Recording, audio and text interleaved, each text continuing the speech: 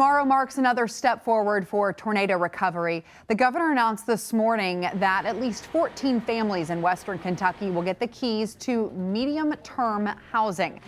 LEX 18's Austin Pollock takes a look inside these travel trailers and who is eligible. Friday morning, more than a dozen families in western Kentucky will get the keys to trailers such as these. Thursday morning, we got a look inside one of the trailers that will be available for survivors. The travel trailers again provide everybody a little more space and space that'll feel like it's theirs during these months until they can move back in a rebuilt home and they provide a safe place for the time being. The state has bought 200 of these new either 2021 or 2022 model trailers. The first ones will go to families with school aged or young children and survivors at Kentucky State Parks or living in hotels outside their home community.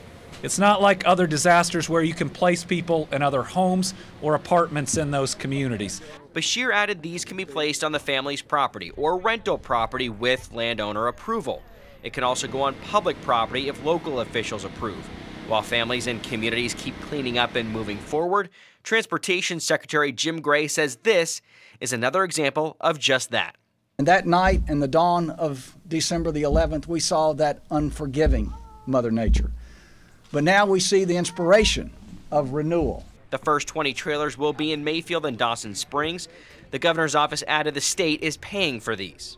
The governor has launched this program uh, very quickly in terms of getting the survivors that do not qualify for the FEMA program. This is the Commonwealth Sheltering Program. Emergency Management Director Michael Dossett and Governor Beshear say people have to be registered with FEMA, and that deadline is fast approaching.